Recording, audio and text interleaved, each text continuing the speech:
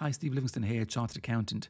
I had a question from a company recently, and it's a very common question on the Seed Enterprise Investment Scheme, SEIS, and I thought it'd be useful just to record a quick video to run through the answer. And the question that was asked via email was two people invested, in this case, and we talked about them being eligible for SEIS. However, this is over three years from incorporation.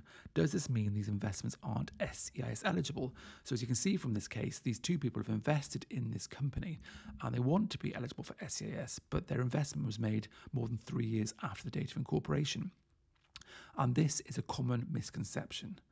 The date of incorporation for SEIS purposes and the three year rule is irrelevant. It's got nothing to do with the date of incorporation. The incorporation date could have been 10 years ago. You could still be eligible for SEIS. The key date you want to be thinking about is the trading date. It's the date the trading commenced. If you want further backup from this, is HMRC's own guidance. It's all about new qualifying trade see that new qualifying trade. If your company is already carrying out a qualifying trade, it must not have been carrying it been carried out for more than three years. Either by your company or any other person who transferred into your company. Uh, it goes on to say your company's trade must be treated as a commercial business with the aim of making profits. Uh, you also need to make sure that it's not included on the excluded activities uh, list. That's a sort of separate point. But here, you're looking at three years uh, from the date the trade commenced. And one thing to be aware of here is uh, a common thing here that sort of often leads on to is if you bought the business in from somewhere else, so you say you bought a, a piece of software, some sort of um, marketing software or something, and you bought that software into your company and you're going to start raising money to really commercialize it and ramp it up, then you've got to bear in mind when did that trade start in the predecessor company.